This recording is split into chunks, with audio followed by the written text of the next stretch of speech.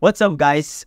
Moclef back here again and for today's lesson, we will be treating the application of pentatonic scale pattern type 1. Now if you're just joining us, I need you to head over to our previous video where we treated the introduction to pentatonic scale pattern type 1 because that video will lead you to this very moment where we're about to treat the application.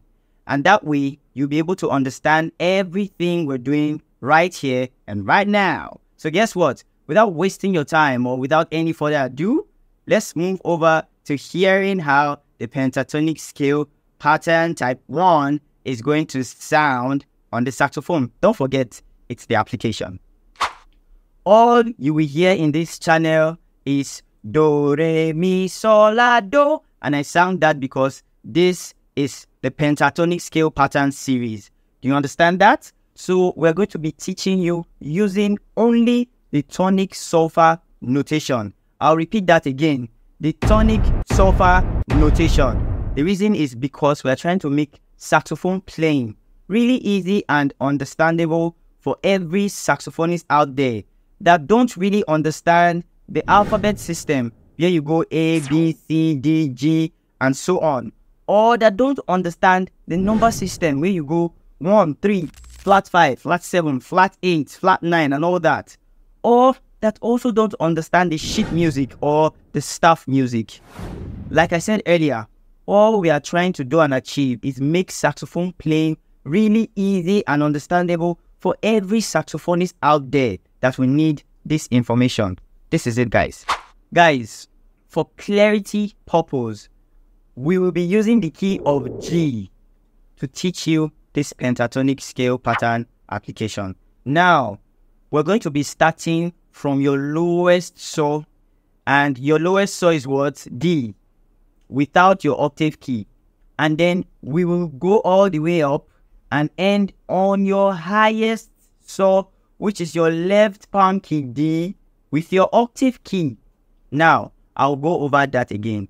On the key of G, we'll be starting from your lowest saw, which is your D without octave key, and then we'll end on your left palm key D with your octave key, which is your highest word, your highest saw. Now, the reason is because we don't want you getting confused. Because most of you, when you hear the beginning note, you want to call that do. No, the beginning note is always saw. So for this pentatonic series or for this pentatonic uh, major scale, sorry, pentatonic scale application type 1, we're going to be starting from So. So don't get that confused when you hear So, do, la, re, do. You get it?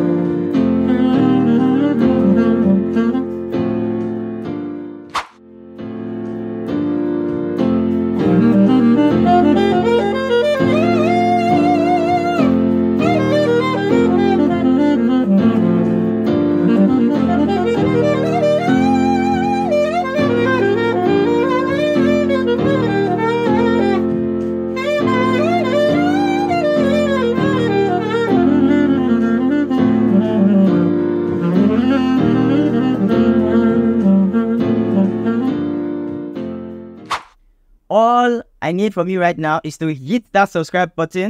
Don't forget to like and share this video. Guess what, guys? Don't forget to share this video to family and friends, like I always say, so that every saxophonist out there that needs to watch and learn from this video will be able to reach the video. Now, for our next pentatonic scale series, we'll be posting the introduction to pentatonic scale pattern type 2. And then for you to be able to see this video and reach it when we post it, all you have to do is what?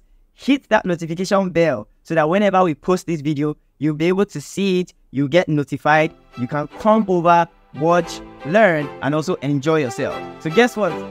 Right now is a good vibe on Music.